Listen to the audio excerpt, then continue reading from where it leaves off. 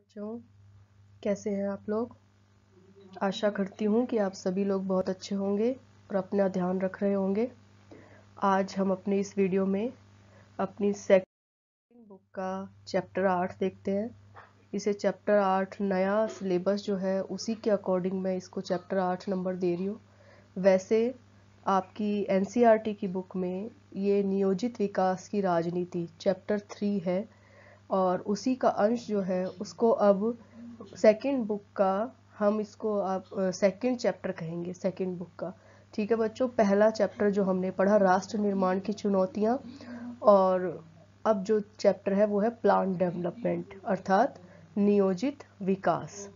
क्योंकि आप लोगों ने देखा, बच्चों, हमने पहले चैप्टर में देखा था कि राष्ट्र निर्माण की तीन प्रमुख चुनौतियाँ थी। पहली चुनौती थी भारत को अखंड रखने की चुनौती, यानी भारत को एक करने की चुनौती, क्योंकि अभी अभी हम विभाजन की त्रासदी से गुजरे थे। ऐसे में हमारे लिए ज़रूरी था कि सबसे पहले हम कैसे एक एक भारत का निर्माण कर सके, हम कैसे एक ऐसे भारत का निर्माण कर सकें, जो कि, जिसको कोई तोड़ ना सके, जिस पे विभाजनकारी शक्तियों का कोई प्रभाव ना पड़े। और दूसरी चुनौती थी लोकतंत्र को बचाने की चुनौती, कि कैसे बचाना इन द सेंस कि स्थापित करने की चुनौती, कि एक ऐसी डेमोक्रेसी स्थापित हो सके, जहाँ पर हमारे देश की जनता को समानता, स्वतंत्रता सारे अधिकार प्राप्त हो सके। एक उस भारत का सपना जो हमारे नेताओं ने देखा था वो पूरा कर सके।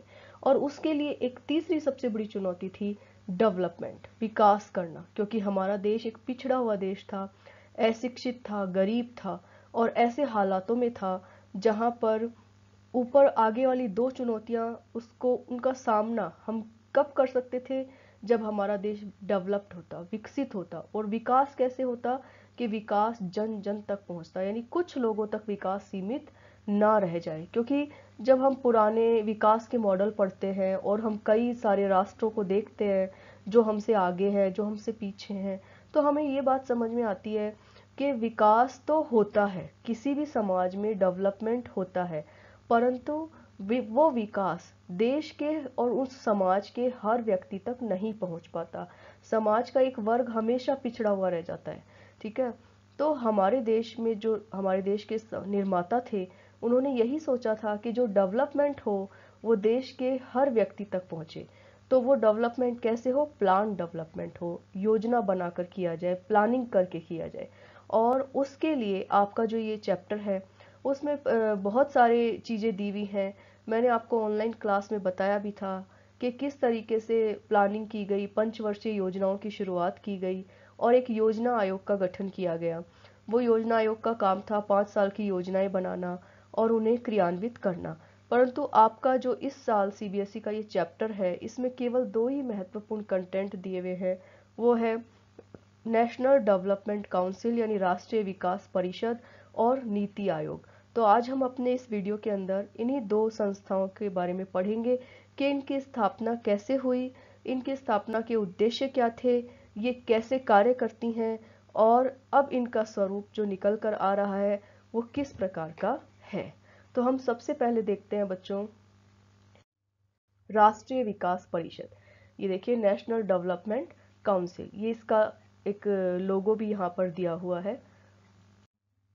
अब देखिए कि ये नेशनल डेवलपमेंट काउंसिल क्या कर रही थी। एनएससी आपको इसका फुल फॉर्म याद रखना है। योजना आयोग की भांति राष्ट्रीय विकास परिषद भी एक संविधानेतर निकाय है। संविधानेतर निकाय का मतलब क्या होता है?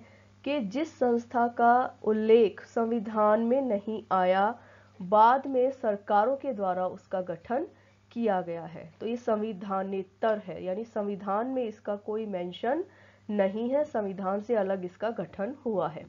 अब इसका गठन क्यों हुआ? मुख्य रूप से आर्थिक नियोजन हेतु राज्य एवं योजना आयोग के बीच वातावरण बनाने के लिए किया गया। अब देखिए, एक चीज़ थी कि भारत क्या है? भारत एक संघ है आप लोग इलेवेंथ में पढ़कर आए हैं, यहाँ पर बहुत सारे राज्य हैं। उन राज्यों और केंद्र के बीच संतुलन बनाने के लिए उनको केंद्र की योजनाओं को राज्य तक पहुँचाने के लिए, राज्य की मांगों को केंद्र तक पहुँचाने के लिए ये एक संगठन बनाया गया। अब इसकी स्थापना कब हुई? 6 अगस्त उन्नीस सौ बावन को राष्ट्रीय विकास परिषद की स्थापना की गई।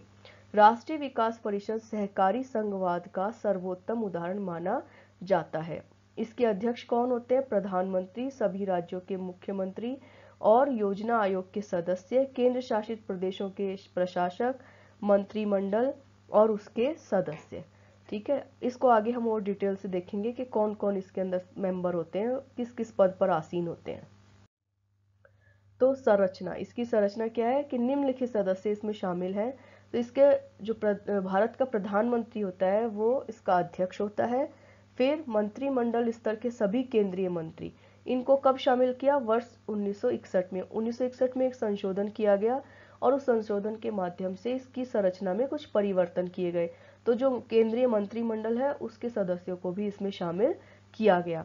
फिर सभी राज्यों के मुख्यमंत्री इसके मेंबर होते हैं। सभी संघ शासित राज्यों के संघ शासित यानी केंद्र शासित यूनियन टेरिटरी, जो हमारी आठ यूनियन टेरिटरी है, उनके मुख्यमंत्री या प्रशासक भी इसके सदस्य होते हैं। अब देखते हैं हम इसका उद्देश्य। राष्ट्रीय विकास परिषद के उद्देश्य objective of national development council राष्ट्रीय विकास परिषद की स्थापना के मुख्य उद्देश्य थे।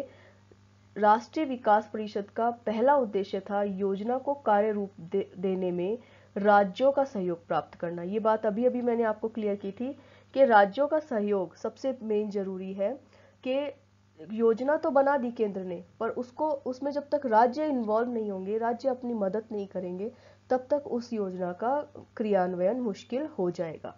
फिर योजना और योजनाओं के समर्थन में, राष्ट्र के प्रयासों और संसाधनों को सुदृढ़ता और गतिशीलता प्रदान करना, सभी महत्वपूर्ण क्षेत्रों में समान आर्थिक नीतियों को बढ़ावा देना, यानी फ़ील्ड डिसाइड करना, क्षेत्र डिसाइड करना कि योजना बनेगी, कौन सी एरिया में काम होगा? कृषि के क्षेत्र में होगा, उद्योगों के क्षेत्र में होगा, कि अब इस बार है ना इंफ्रास्ट्रक्चर में डेवलपमेंट होगा, इस बार व्यापार को तरक्की देनी है, हमें लघु कुटीर उद्योग धंधों को तरक्की देनी है तो फ़ील्ड डिसाइड करेंगे। योजना आयोग डिसाइड करेगा कि किस क्षेत्र में विकास की ज़्यादा ज़रूरत है। देश के सभी भागों में त्वरित त्वरित यानी फास्ट और संतुलित विकास, यानी जल्दी भी हो और संतुलित भी हो, संतुलन भी बना रहे। कि ऐसा नहीं कि एक वर्ग पिछड़ गया, एक राज्य पिछड़ गया और कहीं पर विकास बहुत ज़्यादा हो गया, कहीं पर कुछ भी नहीं हुआ। तो ये संतुलन देखना किसका काम होगा? राष्ट्रीय विकास परिषद का। फिर इसके मेन कार्य क्या है? अब ये जो उद्देश्य है, इनकी पूर्ति करने के लिए क्या होगा? 1952 के प्रस्ताव के द्वारा राष्ट्रीय विकास परिषद को कई कार्य सौंपे गए थे और इन कार्यों को वर्ष 1967 में प्रशासनिक सुधार आयोग की अनुशंसा के आधार पर इनको संशोधित भी किया गया और पुनः परिभाषित किया गया। तो संशोधित कार्यों की सूची क्या है?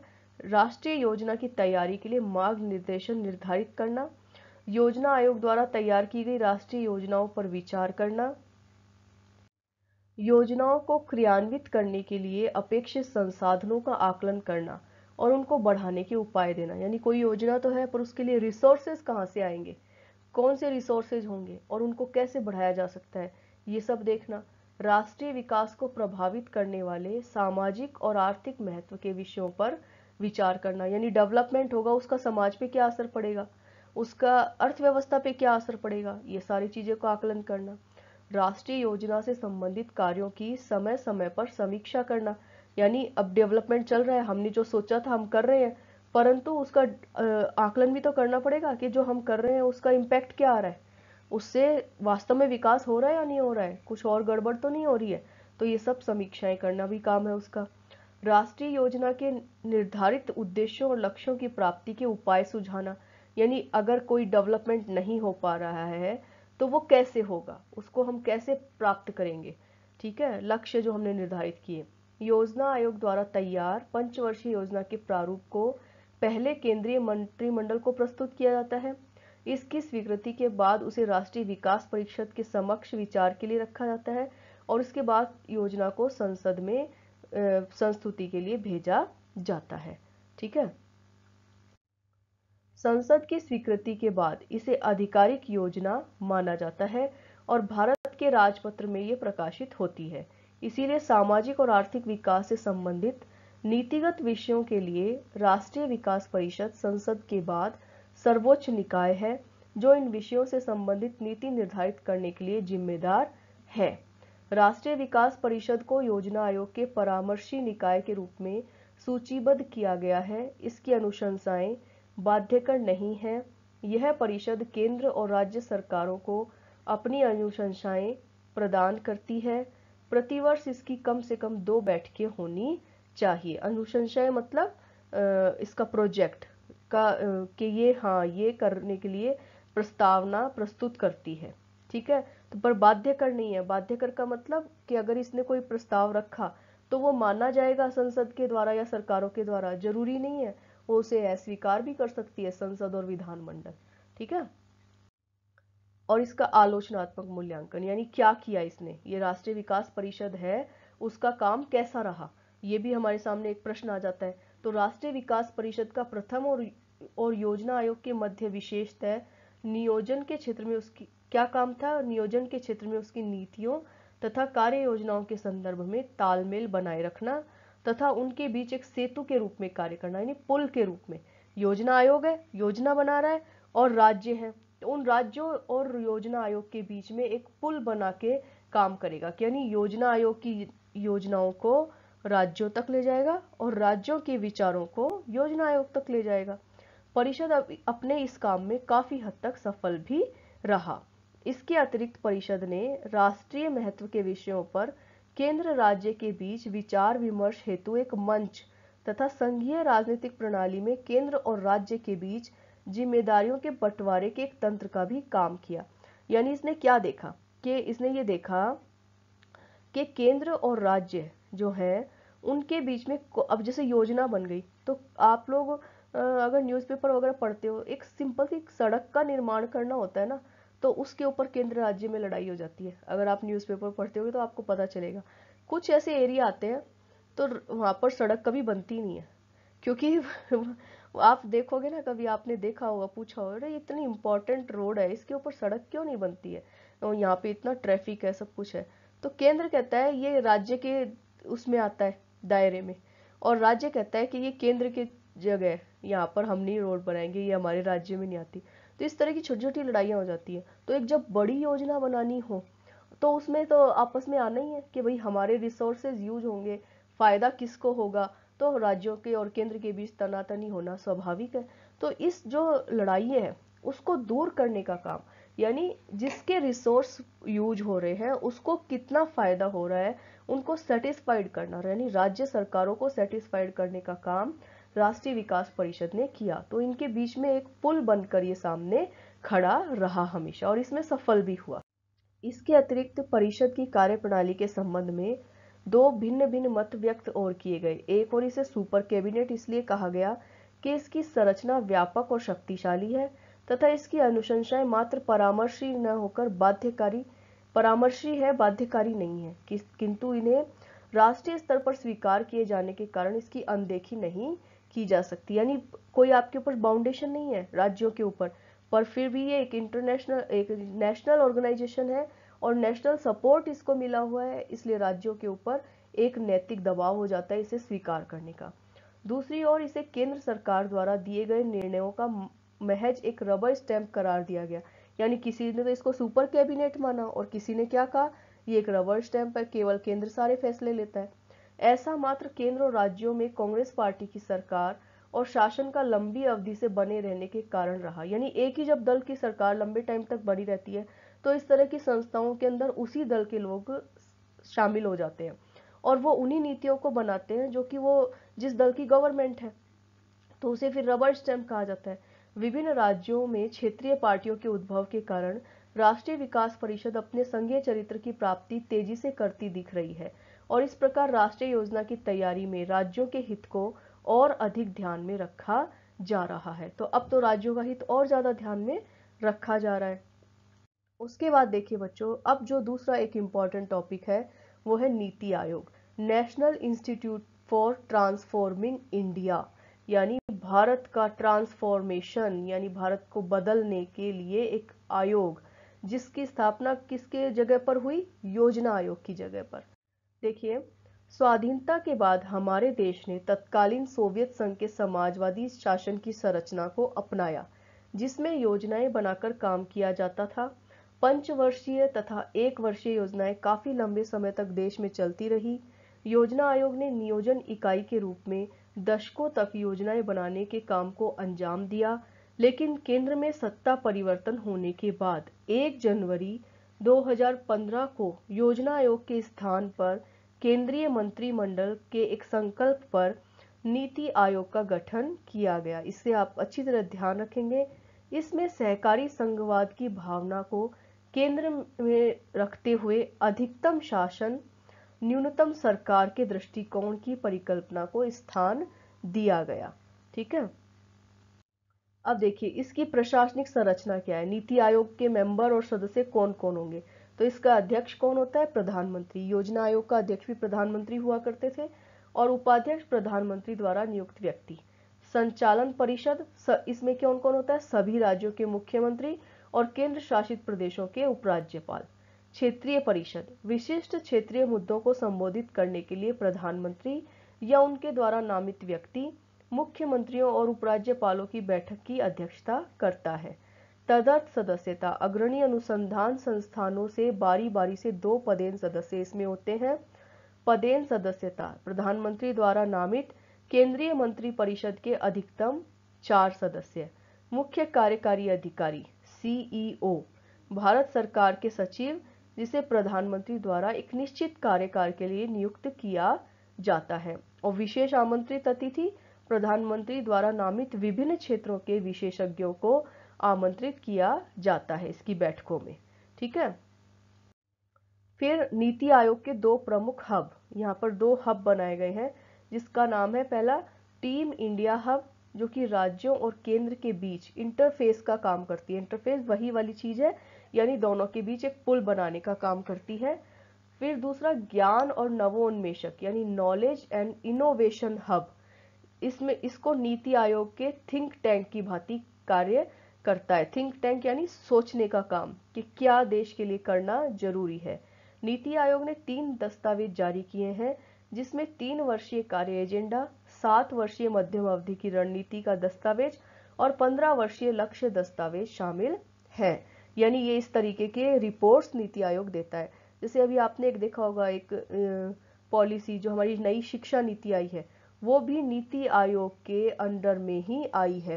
यानी शिक्षा का जो ह्यूमन रिसोर्स हमारा जो मंत्रालय है, उसने नीति आयोग के साथ मिलकर नई शिक्षा नीति का बनाने का काम किया है।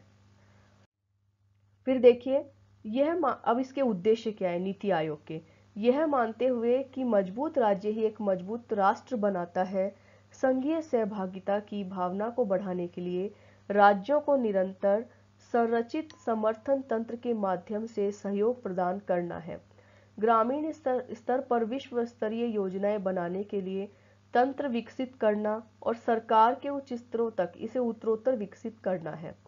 राष्ट्रीय सुरक्षा के हितों में आर्थिक रणनीति और नीतियाँ शामिल की गई हैं। समाज के उन वर्गों पर विशेष ध्यान देना है, जो आर्थिक प्रगति से पर्याप्त रूप से लाभान्वित नहीं हुए हैं अभी तक। प्रमुख हितधारकों, राष्ट्रीय और अंतर्राष्ट्रीय थिंक टैंक जैसे शैक्षिक और नीति अनुसंधान संस्थानों के बीच भागीदारी को प्रोत्साहित करना है। तो सारी जो भारत के लिए आर्थिक, सामाजिक, शैक्षिक सब तरह की नीतियों बनाने का काम जो है, वो नीति आयोग के पास दिया गया है। राष्ट्रीय और अंतर्राष्ट्रीय विशेषज्ञों, चिकित्सकों तथा अन्य भागीदारों के सहयोग से ज्ञान, नवाचार और उद्यमशीलता की सहायता प्रणाली बनाना, विकास एजेंडों के कार्यान्वयन में तेज़ी लाने के लिए अंतर क्षेत्रीय और अंतर विभागीय मुद्दों के समाधान हेतु एक मंच प्रदान करना, राज्यों को कला संसाधन केंद्र के रूप में स्थापित करने, शासन पर शोध का केंद्र बनाने एवं सतत और न्याय संगत विकास में सर्वोत्तम तरीके अपनाने, तथा विभिन्न हितधारकों तक उनको पहुँचाने का काम नीति आयोग का होगा। अब देखो, यहाँ पर एक प्रश्न बन जाता है बच्चों, कि योजना आयोग को हटाकर नीति आयोग बनाया गया तो दोनों में अंतर क्या है? एक ये प्रश्न आ जाता है और आ सकता है आप लोगों के इसीलिए मैंने यहाँ पर ये एक टेबल बनाकर आप लोगों को इसमें दिया है। ये पूरा एक बड़ा प्रश्न बनता है आपका छः नंबर का, कि नीति आयोग और योजना आयोग में क्या अंतर है? तो आप इसको कॉपी में ज़रूर नोट करेंगे। नीति आयोग एक सलाहकार थिंक टैंक के रूप में कार्य करता है, जबकि योजना आयोग इसने एक संवैधानिक निकाय के रूप में कार्य किया, जबकि इसको ऐसा दर्जा नहीं मिला हुआ था। यह सदस्यों की व्यापक विशेषज्ञता पर बल देता है, यह सीमित विशेषज्ञता पर निर्भर करता था। यह सरकारी संघवाद की भावना पर कार्य करता है, क्योंकि ये राज्यों की समान भागीदारी सुनिश्चित करता है। इसकी वार्षिक योजना बैठकों में राज्यों की भागीदारी बहुत कम रहती थी। नीति आयोग प्रधानमंत्री द्वारा नियुक्त सचिवों को सीईओ के रूप में जाना जाता है और योजना आयोग में सचिवों को सामान्य प्रक्रिया के माध्यम से नियुक्त किया जाता था। NITI Aayog bottom up approach से काम करता है। बॉटम अप अप्रोच क्या होती है? यानी विकास नीचे से ऊपर होगा। और योजना आयोग टॉप डाउन अप्रोच पर कार्य करता था, यानी ऊपर से चलकर नीचे आता था विकास। नीति आयोग नीतियाँ लागू करने का इसको अधिकार नहीं है। योजना आयोग राज्यों के लिए नीतियाँ बनाता था और स्वीकृत परियोजनाओं के लिए धन आवंटित भी करता था, जबकि नीति आयोग को धन आवंटित करने की शक्तियाँ नहीं है। यह वित्त मंत्री के पास निहित है। योजना आयोग मंत्रालयों और राज्य सरकारों को धन आवंटित करने की शक्तियाँ योजना आयोग को प्राप्त थी। तो ये आपने नीति आयोग और राष्ट्रीय विकास परिषद किस प्रकार काम करती है क्या क्या उनके उद्देश्य है क्या क्या काम है, ये आपने यहाँ पर देखा, ठीक है? और इस चैप्टर के अंदर आपके यही दो पॉइंट सीबीएसई के नए सिलेबस के अकॉर्डिंग दिए गए हैं। ठीक है बच्चों? अगला जो हमारा वीडियो होगा उसमें हम नेक्स्ट चैप्टर फॉरेन पॉलिसी का शुरू करेंगे। तो आपका ये वीडियो देखने के लिए थैंक यू घर पे रहिए और सुरक्षित रहिए और अपना ध्यान रखिए।